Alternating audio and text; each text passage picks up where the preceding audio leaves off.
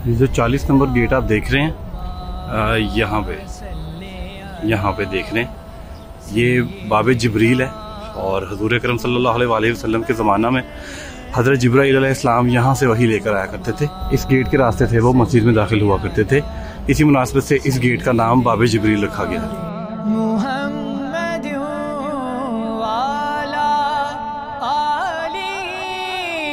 वसहबी वसल्लिम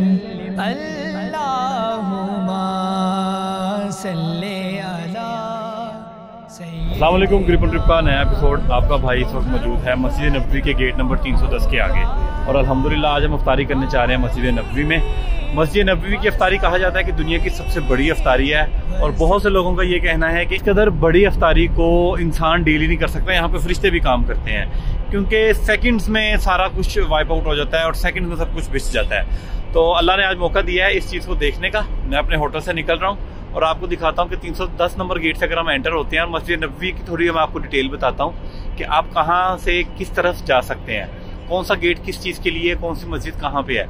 मस्जिद नबवी के इर्द गिर्द काफ़ी मसाजिद हैं छोटी छोटी तारीखी।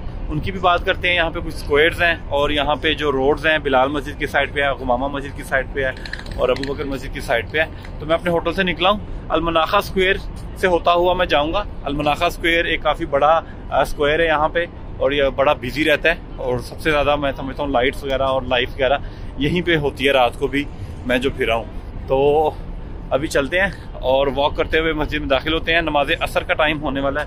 नमाज़ असर अदा करेंगे और उसके बाद देखेंगे आज की मस्जिद नबवी की अफ्तारी।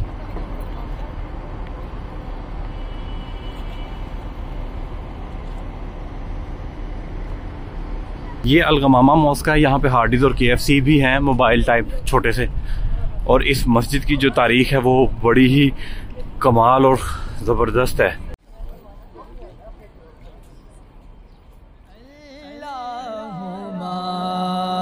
सल्ली अला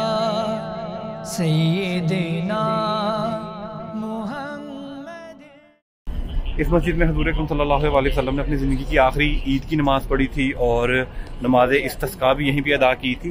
गमामा का मतलब है बादल।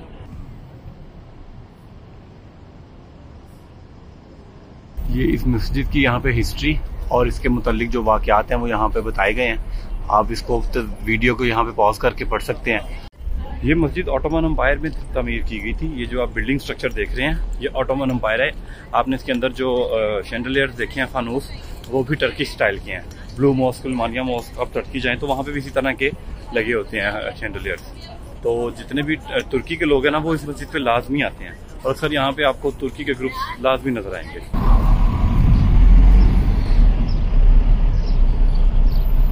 ये जी अलमनाखा स्क्वायर है। और अलगमामा मस्जिद के दोनों साइड्स पे ये है स्क्वायर उस साइड पे आपको रेस्टोरेंट्स और शॉप्स मिलती हैं. मदीना साइड सिंह जो सिटी सर्विस है, उसकी बस का स्टॉप भी है और देख लेते हैं ये स्टॉप नंबर कौन सा है. और कबूतर यहाँ पे बाहर रहते हैं, ये देख लें. अलमनाखा स्क्वायर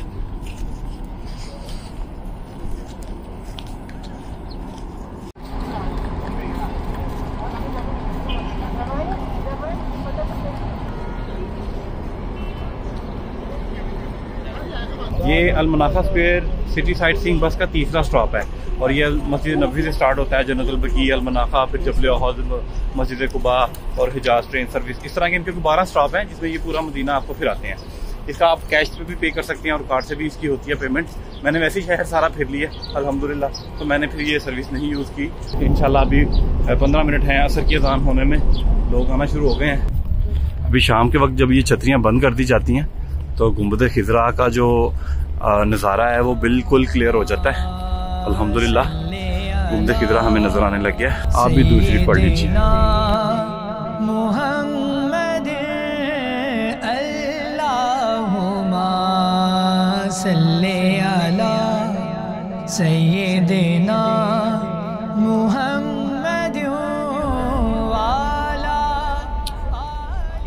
अफ्तारी से लेके कोई आपको क्वेरी वगैरह है तो आप यहाँ पे इंफॉर्मेशन का डेस्क कायम कर दिया गया तो आप यहाँ से पूछ सकते हैं। यहाँ पे सारे रास्ते बना दिए गए हैं। जिन लोगों के पास रियाजुल जन्नत में जाने की परमिशन है ऐप से तो उनका रास्ता ये है। और यहाँ पे लिखा भी हुआ है, अलबकी का रास्ता तो खैर सामने चला जाएगा, लेकिन रियाजुल जन्नत में जाने वालों का रास्ता भी यही है। यहाँ से जाएँगे और आगे जाके लेफ़्ट हो जाएँगे। सैयदना मुहम्मद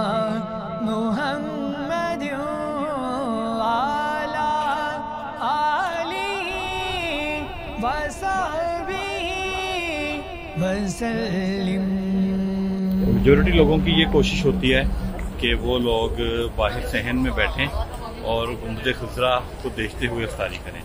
अभी ये जो मैंने आपको लोग दिखाए हैं, जो निकल रहे थे गेट से बाहर, ये सारे अब देखें, इस तरफ़ जा रहे हैं, क्योंकि गुमद खजरा की तरफ़ जो अहाता है, वो काफ़ी खुला है।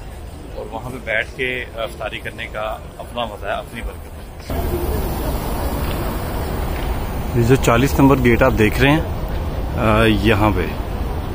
यहाँ पे देख रहे हैं। ये बाब जबरील है और हजूर करम अलैहि के ज़माना में हज़रत इस्लाम यहाँ से वही लेकर आया करते थे। इस गेट के रास्ते से वो मस्जिद में दाखिल हुआ करते थे। इसी मुनासिबत से इस गेट का नाम बाब जबरील रखा गया है।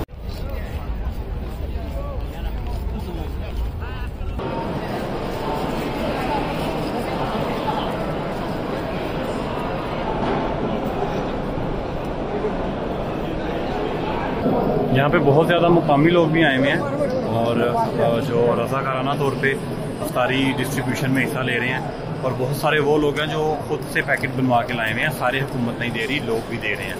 क्योंकि पैकेट डिफरेंट डिफरेंट है। हुकूमत का जो पैकेट है वो डिफरेंट है और जो लोग अपना बनवा के ला रहे हैं वो डिफरेंट है। लेकिन बड़ी ही ज़बरदस्त एक्टिविटी है और सब लोग खुशी के साथ जो है वो इबादत समझ के, खिदमत समझ के ये कर रहे हैं। सल्ले अला सैयदना मुहम्मद आला आलिहि वसहबिहि वसल्लिम अल्लाहुम्मा सल्ले अला सैयदना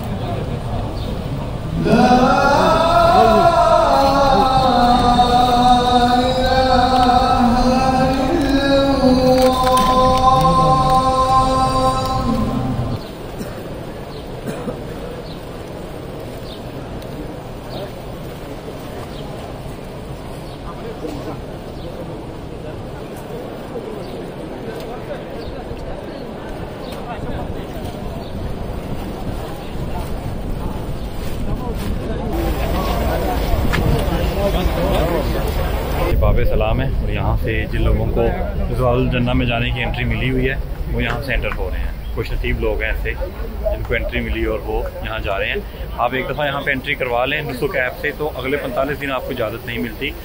मतलब ज़्यादातर केसेस में आप एक दफ़ा ही जा पाते हैं।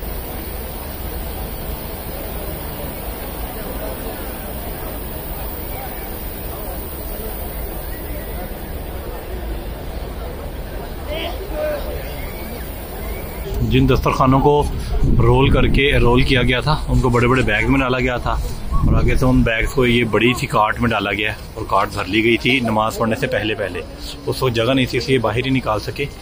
और ये गेट नंबर फोर की दो कार्ट्स हैं जो जा रही हैं, डिस्पोज होने।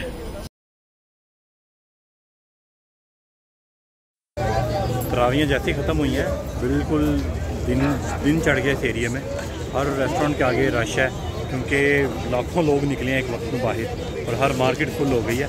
मैंने वलीद ब्रोस्ट लिया है और अभी आलू पालक लेंगे। हमने कहा ऐसी सब्ज़ी खानी है तो पालक जो है ना वो ज़रा अच्छी है भिंडियों से। क्योंकि भिंडियाँ इतनी बड़ी बड़ी हैं समझ नहीं लगती कि मैं खानी तो अभी लेते हैं हम पालक गोश्त और एक रोटी। माँ जी कैसा गुजरा आज का दिन? दोबारा ज़िंदगी नहीं आ सकता हाय हाय माँ जी सुबह से आई हुई हैं और अभी सिर्फ़ पानी से और खजूर से रोज़ा अफ्तार किया हुआ है तरावियाँ पड़ी हैं तो इस वक्त हालत जो है ना वो इसलिए माँ जी के प्रोटोकॉल में ये मैं अलवरीद ब्लोस्ट लेके आया हूँ। अभी तक यही कुछ चीज़ है जो हमें पसंद आई है। होटल जो है, वो लिखे, उसके ऊपर लिखा तो पाकिस्तानी होता है, लेकिन अंदर बंगाली बैठे होते हैं। वो उन्होंने हिंदी में भी लिखा होता है और बंगला में भी लिखा होता है। लेकिन हमारे वो टेस्ट थोड़ा सा डिफरेंट होता है। इसलिए फिर वो खाना अभी तक हमें उस तरह से पसंद नहीं आ रहा। एक दो पाकिस्तानी बुखारी रेस्टोरेंट बहुत अच्छा है। सईद शहदा रोड के ऊपर बेस्ट है। बुखारी नहीं था सॉरी मतलब तबाक था, तबाक रेस्टोरेंट वो पाकिस्तानियों का था। और वो बहुत अच्छा था। अभी माशाल्लाह आज का दिन अल्हम्दुलिल्लाह बहुत खूबसूरत गुजरा। रावियाँ पढ़ी, असर की नमाज़ पढ़ी और फिर सारा सेटअप देखा ये कैसे लगाते हैं अफ्तारी का और फिर तरावियाँ पढ़ी। अभी हम अलमनाखा स्क्वायर पे बैठ के खाना खा रहे हैं और फिर यहीं से वॉक करते हुए कमरे में जाएँगे। कमरे में खाना खा के लेट जाते हैं तो वो फिर ज़रा तबीयत ख़राब होती है, इसलिए हम यहीं पे खाना खा रहे हैं। आज के एपिसोड के बारे में कमेंट कीजिएगा और शेयर कीजिएगा इस वीडियो को और मेरे चैनल को सब्सक्राइब कीजिएगा। मेरी इजाज़त। अल्लाह सैदना मोहम्मद सल्ले